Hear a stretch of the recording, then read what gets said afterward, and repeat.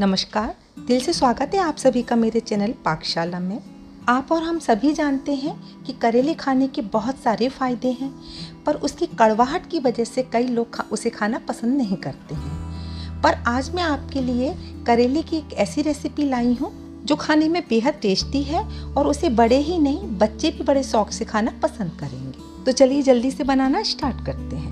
Video शुरू करने से पहले आपसे निवेदन है कि वीडियो आपको पसंद आए तो आप इसे लाइक कीजिए, कमेंट कीजिए और मेरे चैनल को सब्सक्राइब करना बिल्कुल मत भूलिए। सब्ज़ी बनाने के लिए सबसे पहले हम करेलों को अच्छे से धोकर साफ़ कर लेंगे, उसके किनारों को कट कर लेंगे और फिर उसे ग्रेटर से ग्रेट कर लेंगे।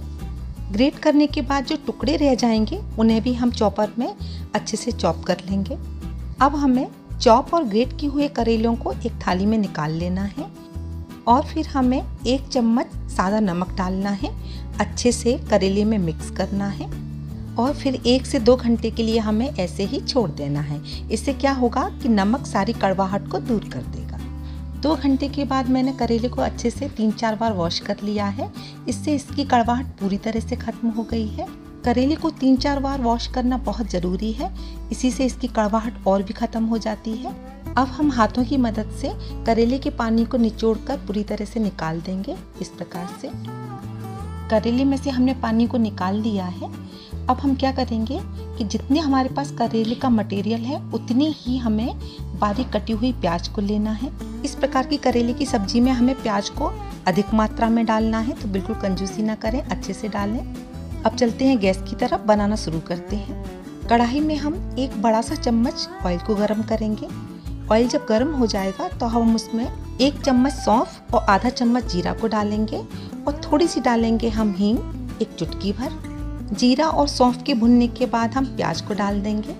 प्याज को हमें बिल्कुल हल्का गुलाबी होने तक भूनना है, बहुत ज़्यादा नहीं भूनना है, क्योंकि हमारी प्याज करेले के साथ भुनती भी रहेगी। अगर हम इसे ज़्यादा भून देंगे तो ये जल जाएगी, जो अच्छी नहीं लगेगी। प्याज की फ्राई होने के बाद हम उसमें करेले ऐड कर देंगे, अच्छे से मिक्स कर देंगे। मीडियम फ्लेम पर हम इसे ढककर तीन से चार मिनट के लिए पकने देंगे। बीच में हम एक दो बार चम्मच से चला देंगे, जिससे कि करेले नीचे से न लगे। पहले हमें करेले को कवर करके पकाना है, जिससे कि करेले सॉफ्ट हो जाएँ और अंदर से अच्छे से पक जाएँ। स्वाद के अनुसार हम नमक को ऐड करेंगे, अच्छे से मिक्स करेंगे। गैस की फ्लेम को लो कर देना है और बिना कवर किए हुए हमें सब्ज़ी को फ्राई करना है।